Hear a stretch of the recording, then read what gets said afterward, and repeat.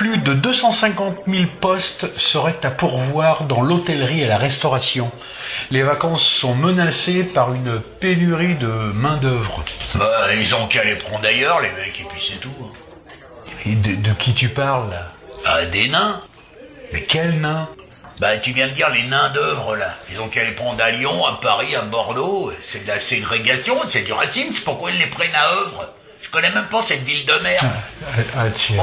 Bon, les mecs œuvre. Qu'est-ce qu'ils vont chercher des, des mecs là-bas Et puis ils ont qu'à prendre des grands, et puis c'est tout.